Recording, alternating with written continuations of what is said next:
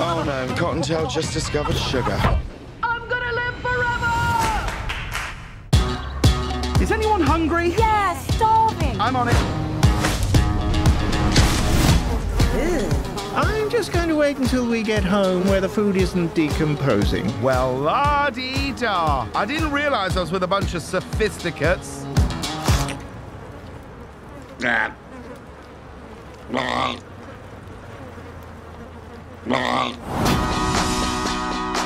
Families can come in all shapes and sizes. That's why I also picture having some two-legged children.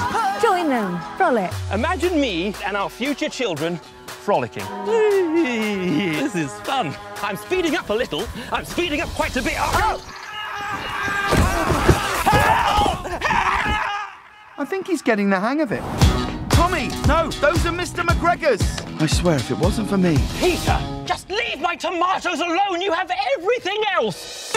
Honestly, my kids will be so much better behaved. Go easy on him. As soon as they have a baby, we're done for. Maybe we're better off without them. Don't stare at the scenery rushing by. Look at a fixed point on the horizon and just lock your eyes onto that. I love this place. What's for lunch? There's a magical place with the ripest radishes, the sweetest corn.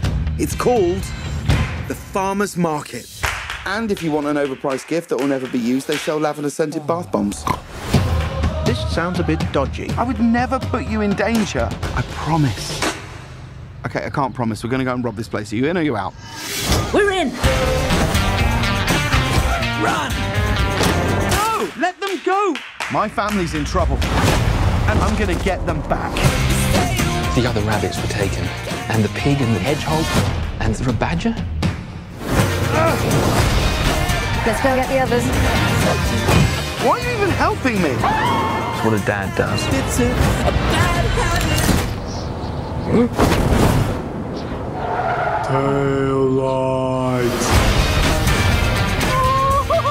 Oh no, Cottontail just discovered sugar. We had a good run.